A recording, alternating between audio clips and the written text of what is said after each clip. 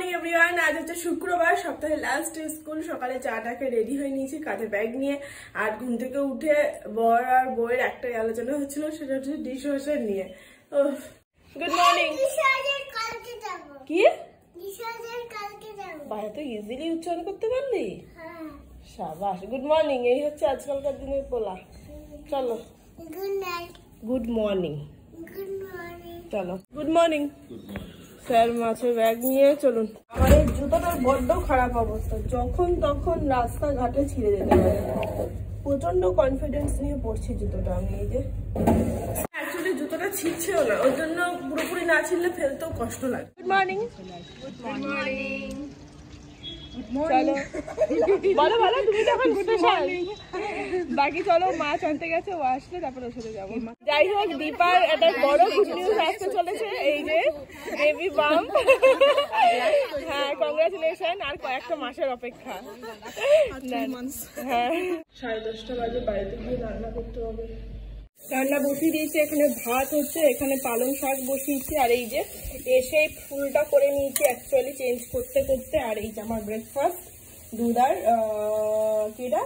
সব গুলিয়ে যাচ্ছে আমার মাথাতে শুধু এখন না ডিশ ওয়াশার ডিশ ওয়াশার ঘুরছে বাকি সব গুলিয়ে যাচ্ছে এটা হচ্ছে দুধ আর কর্নফ্লেক্স স্যারের ভাত রেডি নাও এরপর মেয়েকে আনার পালা খেয়ে না গুড মর্নিং ও আবার কি বলেছি তো। সজনের ফুল পালং শাক ভাত মাছের ঝোল আছে।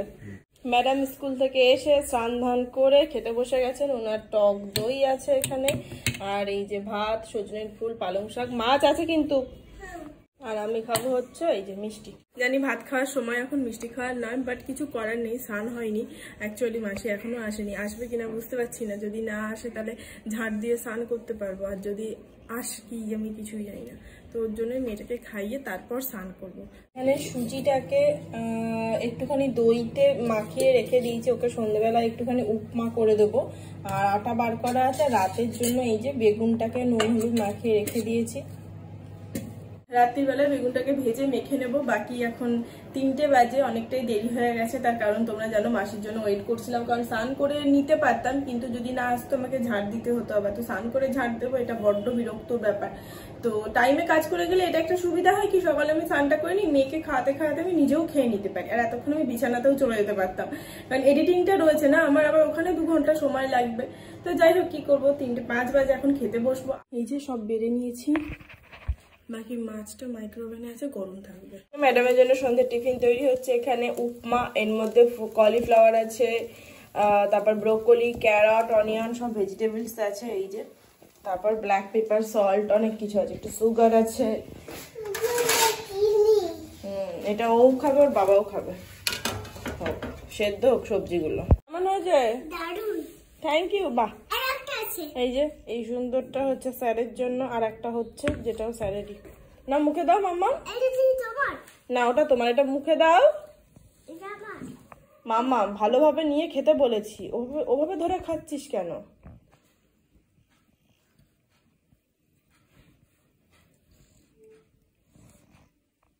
খাও। তোকে যেতে হবে না তাহলে। তোরা তোর বাবা যেতে যেতে স্টোর অলরেডি বন্ধ হয়ে যাবে। রেডি হয়ে গেছি, এখন আমার ধ্যান, জ্ঞান সব কিছুতে আমার শুধু একটা জিনিসই চলছে, সেটা হচ্ছে ডিশ ওয়াশার। ডিশ ওয়াশার এখন কি নেব, কোনটা নেব সেটা পরের কথা, এখন আসছি আমার কিচেনে হবে কি হবে না আদৌ জিনিসটা। আজকে দুপুরে ব্লগ আপলোড করার পর আমি সারাক্ষণই শুধু দেখছিলাম যে ছোটোর মধ্যে যদি কিছু পাওয়া যায় বাট দেখলাম না এলজি আর বসে একমাত্র স্টোরে অ্যাভেলেবেল আই আইএফবিটা বাদ দিচ্ছে আমার লিস্ট থেকে। আর বসের আগে টুয়েলভ প্লেসের পাওয়া যেত, এখন সব জায়গাতে মোটামুটি থার্টিন প্লেসের আর থার্টিন আর ফোরটিনের মধ্যে কোনো পার্থক্য নেই হাইট সব এক আর পয়সারও কোনো ব্যাপার নেই দুটোই সমান। আর এলজির ফোরটিন প্লেস আর বসের থার্টিন প্লেসের দাম মোটামুটি এক ওই হাজার দু হাজার টাকা জাস্ট উনিশ আর বিশ। বাকি দুটোর প্রাইস প্রায় সিমিলার হ্যাঁ তবে আমি আগের দিন এলজির যে ফোরটিন প্লেসের যেটা দেখছিলাম যে মডেলটা যে ব্ল্যাক কালারটা ওটা একটু এক্সপেন্সিভ কারণ ওটার কালারটার জন্য। বাকি ওটা স্টিলের উপরে নিলে মোটামুটি বসের থার্টিন প্লেসের যে দাম সেই দামের মতনই। তো যাই হোক, এখন চলো চিনার পার্কে যাব আমরা, তাই তো? গেট স্ট্যান্ডটাতে এখন দেখি সেখানে গিয়ে কি হয়। জানি বস আর এলজি আছে চলো। ছোট মানুষ বলতে পারে না বলে হাতে দুটো হেলমেট ধরিয়ে দেওয়া হয়েছে। কিচ্ছু বলছি না, দুটো হেলমেট নিয়ে ঘুরছে। যা যা যা জুতোটা পর আমারটা ওরা ঠিক করছে শুধু দেখো, আমি শুধু দেখছি দুটো হেলমেটকে সুন্দর ধরে আছে। কিচ্ছু বলছে না। গুড গার্ল চলো। আমরা এখন এসেছি টাটা কোমাতে, এখানেই দেখছি। এই যে বসেরটা আছে আর আইএফ কত আসছে? এইটি ফাইভ হয়ে গেল, দিল টুট গয়া। আমার ডিশ ওয়াশার হবে না, বোঝাই যাচ্ছে বাট তবুও লাস্ট টাইম একটু গেটি স্টান যাব। এখানে একটাই আছে বসের চলো, এবার বাড়ি যাচ্ছি, এখানেও হলো না। মাথার মগজের মধ্যে ঢুকিয়ে নাও যে ডিশ ওয়াশার তোমার হবে না। মানে আপাতত তোমার যে সেট আছে তোমার এই সেট আপে ডিশ হবে। আমি মানতে পারছি না আমি তোমাকে বলছি তুমি দশ মিনিট কি জন্য দাঁড়াও দশ মিনিট না আমি পনেরো কুড়ি মিনিট কিচেন এখন করতে গেলে সুস্থ কিচেনটাকে এখন নষ্ট করতে হবে। যেটা করার কোনো মানে হয় তোর বাবা বকেনি। সবাই বকেছে সবাই।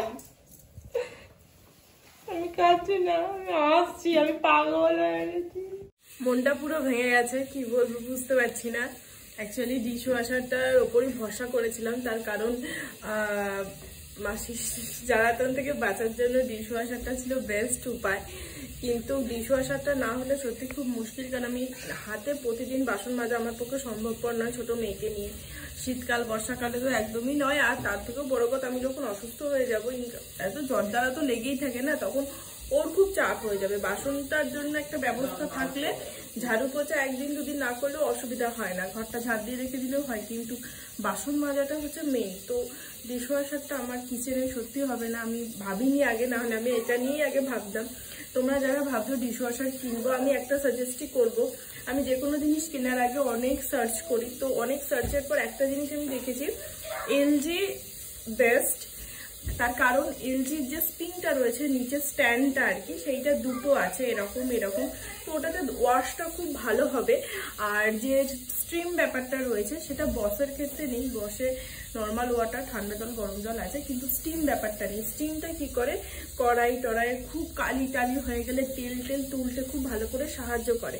ছোপ ছোপ কোনো স্পট করে ফেলে, ধোয়ার সময় জলের যে ছোপ ছোপ স্পট করে থাকে বাসনে সেগুলো স্টিম সব সরিয়ে দেয়। কিন্তু স্টিম দিলে তোমরা আবার প্লাস্টিক বা অ্যালুমিনিয়াম এইসব দিতে পারবে না। ননস্টিক স্টিল কাঁচের এইসব দিতে পারবে। বাকি যাই হোক, আমার কাছে বেস্ট লেগেছে এলজিটা আর প্রাইজের যদি তুলনা করো, তাহলে বলব বসের থার্টিন প্লেস আর এলজির ফোরটিন প্লেস দুটোর প্রাইস একই জাস্ট দু আড়াই হাজার টাকা ডিফারেন্স আমার মতে বলে যে বসের থার্টিন প্লেস নিতে পারবে, সে আরামসে এলজিও নিতে পারবে ফোরটিন প্লেস তো বেস্ট এলজি নিও। খুব ভালো ডিশ ওয়াশার নো ডাউট কিনবো মনে করলে অবশ্যই কিনো। কোনো দিকে তাকানোর দরকার নেই, কিন্তু হ্যাঁ একটা কথা বলব। সরি আগে কিচেনটা দেখো, তারপর যেও। যেমন বলছি এইখানটাতে করে আমার জন্য বেস্ট ছিল সবার জন্যই তাই সিঙ্কের নিচে রাখা বাট আমার এখানে হবে না। আমার এই গ্রানাইটটাকে এখান থেকে হাফ কেটে বাদ দিতে হবে প্লাস এইগুলো ভাঙতে হবে। মোটামুটি এত দূর আমার আসবেই ডিশ ওয়াশারটা তো এইগুলো সব বাদ যাবে প্লাস গ্রানাইটের ওই দিকটা বাদ যাবে। তো এটা ওর কাছে ভোগাস লেগেছে ও একদম এটাতে নারাজ। আচ্ছা সেকেন্ড ভেবেছিলাম আমি এইখান চোখ ঠিক আছে সেকেন্ড ভেবেছিলাম আমি এইখানটাতে রাখব কারণ মিডিল বরাবর রাখলে কিচেনের স্পেসটা নষ্ট হয়ে যাবে। তো এইটা সরিয়ে দেবো। বোতলের অন্য ব্যবস্থা করব আর ডিশ ওয়াশারটা ভেবেছিলাম এখান থেকে রাখব এখানে। আর পাইপগুলো ওইভাবে ওইখান দিয়ে যাবে। এটা আমার আইডিয়া ছিল বাট দোকানে গিয়ে জানলাম নোংরা জল যেটা বেরোবে যে পাইপ দিয়ে, সেটা আমি আরামসে এইখান থেকে কোনা করে নিতে পারব। ক্লিপ ওখানে অ্যাটাচ করে, দেখা গেলেও খারাপ লাগবে না। কিন্তু যে পাইপটাতে জলটা আসবে মেশিনে ওয়াশের জন্য, সেই পাইপটা এলজিতে ফিক্সড একটা মাপের দেওয়াই থাকে, ওর থেকে বেশি তোমরা কিনতেও পারবে না, কিছু করতেও পারবে না। সুতরাং ওই বরাবরই নিতে হবে তোমাকে। কিচ্ছু করার নেই। আর বসের ক্ষেত্রে তোমার মাপের একটা দেওয়াই থাকে ওদের, যদি ওটা তোমাদের ছোট মনে হয়, তুমি পুরোটা চেঞ্জ করে নতুন তোমাকে বড় মাপের কিনতে হবে। এইটা। তুমি না হয় বস নিলে বড় মাপের পাইপও কিনলে তাতেও দুঃখ নেই, কিন্তু সমস্যা হচ্ছে ওই পাইপটা তুমি কোনা বরাবর ওইভাবে বেঁকিয়ে নিয়ে যেতে পারবে না। ওটা এই রকম সোজাই যাবে। মানে ওখান থেকে এই রকম পুরো সোজা যাবে, যেটা বুঝতেই পারছ? একদমই জঘন্য লাগবে বসের আর এলজির তো ভেবই না, এলজি একমাত্র পাশে কল থাকলে তবেই হবে। কারণ ওর একটা মাপ দেওয়াই থাকে আদারওয়াইজ একদমই হবে না। তো আমার কপালে সত্যি ডিশ ওয়াশার নেই। একমাত্র এটা ভাঙা ছাড়া উপায় নেই বাট এটা ও ভাঙতে চাইছে না। একটা রেডি কিচেন ও স্বাভাবিক ব্যাপার, আমার নিজেরই কষ্ট লাগছে। তো ছেড়েই দাও, এই মানে মার্বেলটা ভাঙাটা ও এক মানে ও কি আমারই খারাপ লাগছে। অনেকে বারান্দাতে রাখে বাট ব্যক্তিগত আমি বারান্দা একদম পছন্দ করি না, কারণ এখান থেকে অত দূর আশা করি সবারই ঘরে কিচেনের পাশে বারান্দা নয়। তো যদি হয় তো খুব ভালো কথা, আর না হলে এটা একদম যাতা ব্যাপার। আর একটা কাজ করা যেতে পারে, তুমি ডাইনিং হলে ওটা ইজিলি রাখতে পারো, দেখতেও খুব সুন্দর লাগে। মাথাতে তোমরা সাজিয়ে শোপিসও রাখতে পারো, যদি তোমাদের ডাইনিং হলে স্পেস থাকে তো। আমার কপালটা এতটাই খারাপ তোমার ডাইনিং হলে স্পেস নেই, আর কিচেনে যাবা এতটা রুম না স্পেস দিয়েছে ফ্ল্যাট বাড়িতে এত বড় কিচেন দেখা যায় না বাট আলটিমেটলি কাজের সময় তো কোনো কাজই লাগল না। এই হচ্ছে ডাইনিং হল ওখানে সোফা এই টেবিলটা ভবিষ্যতে চেঞ্জ হবে সো এটা তো টেবিলের জন্য। ওখানে বেসিন ওটা খুব ইম্পর্টেন্ট এটা টিভি ক্যাবিনেট সরানোই যাবে না ব্যাস আমার এখানে শেষ ডাইনিং সো এখানে আমি কোথায় রাখব? চাইলে একটা ফুলদানিও আমি এখানে অ্যাড করতে পারব না এমন অবস্থা তো ডিশওয়াশার তো দূর কি বাদ তো যাই হোক আমার মন খারাপ করছে। এই যে এখানে বেগুন ভাত ভাতে বলছি বেগুন মাখা। মেয়ের রুটি আমাদের রুটি। বাকি চলো, খুবই দুঃখজনক, আমার জন্য আজকের দিনটা, আজকের এই ব্যাপারটা। আমার খুব কষ্ট লাগছে। তোমরা যারা ভাবছ আগে দেখে নিও কোথায় রাখবে, আর মাপজোপ সবই তো এখন অনলাইনে দেখলেই চলে আসে, তারপর দোকানে যেও। আমি ভাবিনি আমার বাড়িতে একটা জিনিস হবে না, একটা জিনিস কিনবো বলে গিয়ে সেটা রাখার জায়গার অভাবে হবে না, এটা ভাবিনি। বাকি চলো আজকে ব্লগটা এখানে শেষ করছি, দেখা হচ্ছে আগামী কাল ততক্ষণ সবাই ভালো থেকো সুস্থ থেকো অবশ্যই খুব সাবধানে থেকো। Bye good night